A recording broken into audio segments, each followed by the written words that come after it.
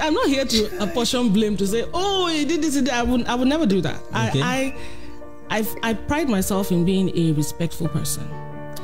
A lot of things were said about me on YouTube because that's how I found out that my marriage had ended on YouTube.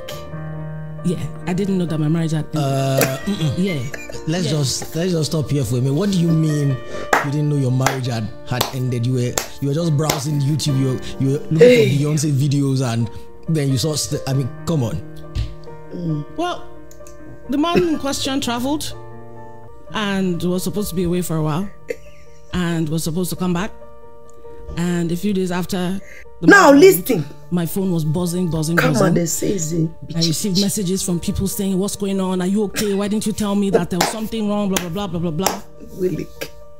Then I'm like, What are all these links they are sending me? And I'm like, Ruma, Isabel, let's go. Something's up. Let's. The thing is, I'm not here to apportion blame to say, oh, he did this. He did. I would, I would never do that. Okay. I, I, I, I pride myself in being a respectful person. A lot of things were said about me on YouTube because that's how I found out that my marriage had ended on YouTube.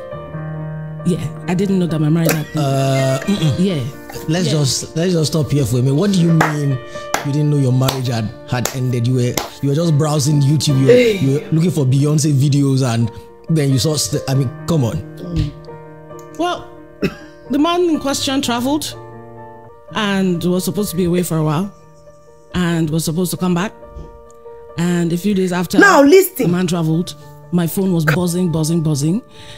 I received messages from people saying, What's going on? Are you okay? Why didn't you tell me that there was something wrong? Blah, blah, blah, blah, blah, blah. Then I'm like, What are all these links they are sending me? And I'm like, Ruma, Isabel, let's go. Something's up. Let's put YouTube for me.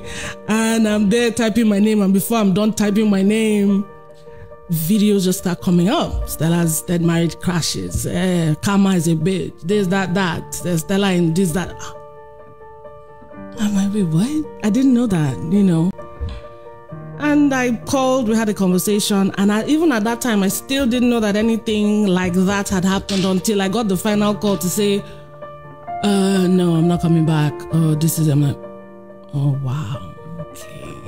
You know, I don't want to go into full details. Ted, you don't do this to me. I've never talked about this well- or mentioned this, you know. So it's, of course, every marriage has issues. And and people don't know how it all started, what impressions were created, what was said, what was not said. I'm not even going to, out of respect for all parties involved, there are some things that I'll just probably leave leave as is. But one thing I will say though is that it's important for you as a human being to know yourself more and love yourself more and know what you want and what you don't want so that nobody will come to you and make you see things and tell you these are the things that you should want.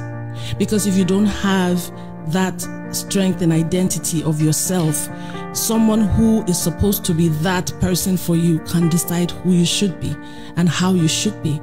But every the whole thing is has polarized people friends family members in-laws like i'm on this person's side. Oh i'm team this i'm team that. That's why i really don't talk about it. It's not as if i'm scared of anything. No it's done. Some people are even wondering are they still married? No i'm not. I'm divorced. I'm single. This is the first time i'm saying it categorically because even Rumi was like Hesty, you know you've never said anything. Teju will ask you these questions. Are you ready to answer? I'm like hmm i will pray.